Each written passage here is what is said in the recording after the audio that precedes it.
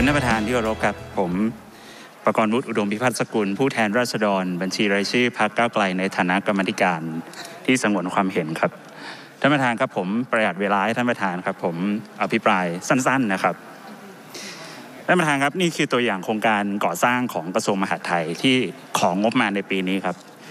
นี่คือเอกสารรายละเอียดของงบศูนย์ราชการจังหวัดสุรินทร์250 ล้านบาทครับ นี่คือตัวอย่างเอกสารของสารกลางศรีสะเกด153 ล้านบาทครับ นี่คือหอประชุมที่จังหวัดเชียงราย 86 ล้านบาทครับ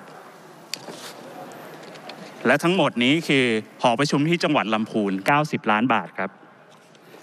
ส่วนนี้คือรายละเอียดโครงการก่อสร้างที่ของงบมา 1,469 ล้านบาท โดยกรมโยธาธิการและผังเมือง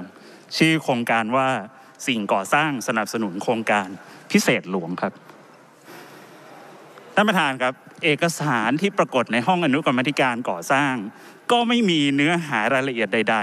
ๆ ที่นอกเหนือไปจากสองบรรทัดที่ผมชูให้ดูนี้เลยครับท่านประธาน ผมถามหน่วยงานในห้องกรรมธิการห้องใหญ่ ก็ไม่มีคำตอบให้ ขอเอกสารรายละเอียดไป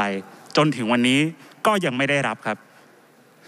ผมจึงอยากถามถึงกรรมธิการเสียงข้างมากว่า ตกลงในการพิจารณางบประมาณของกรรมธิการ และของสภาผู้แทนราษฎรแห่งนี้เนี่ยเราพิจารณาทุกหน่วยงาน ทุกโครงการ ทุกบาท ทุกสตางค์ด้วยมาตรฐานเดียวกันหรือไม่ ในห้องกรรมธิการผมก็พูดไปแล้ว เมื่อวานผมก็พูดไปแล้ว วันนี้ผมก็ต้องพูดอีกครับ ว่างบประมาณในทุกๆ โครงการ คนที่นำไปใช้ไปจัดซื้อจัดจ้าง หรือแม้กระทั่งนำไปทุจริตก็คือข้าราชการ และก็นักการเมืองทั้งนั้นครับ แล้วมันก็เป็นสามัญสำนึกครับว่า ยิ่งมีการปกปิดมากเท่าไหร่ ก็ยิ่งมีโอกาสให้เกิดการทุจริตคอร์รัปชันมากขึ้นเท่านั้น ผมจึงยืนยันครับว่าเรา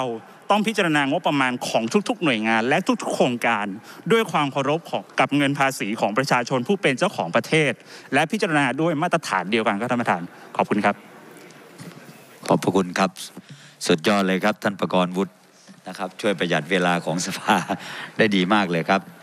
คนอื่นจะดูเป็นตัวอย่างได้ก็ดีนะครับ